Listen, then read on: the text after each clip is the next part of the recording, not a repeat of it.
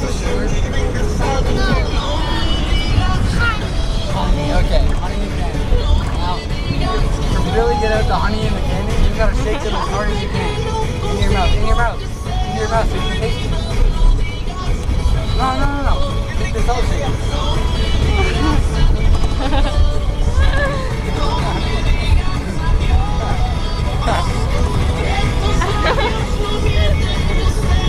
okay, now do one at a time. That one that one. That one that one. You get a better taste.